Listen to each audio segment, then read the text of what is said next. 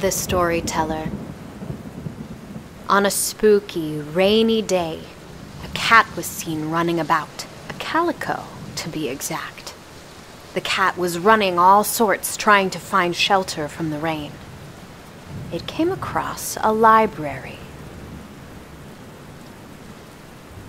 The calico found an opening and squirmed its way through. In the room was a lady surrounded by children. She appeared to be reading a story to them. Hush now. You want to be able to hear the story as I read it, no? The lady said, and the children started to quiet down. Once upon a time, a girl named Melody was playing in the streets next to the woods.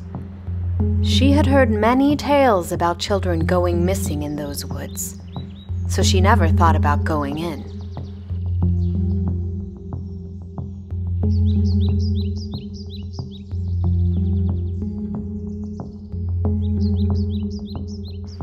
But one day she was playing with her friends. They accidentally threw the ball into the woods. They all decided to go and get it because they didn't want just one person to go. They all started entering the woods. They kept going further and further and further. But they still hadn't seen their ball. They heard a rustle and sprinted out.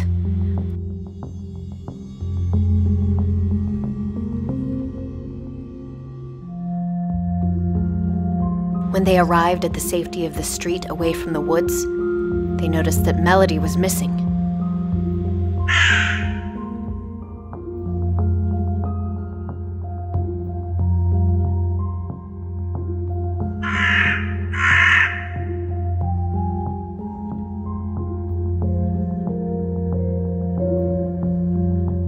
One of the children asked, What happened next? She was never seen again, said the lady.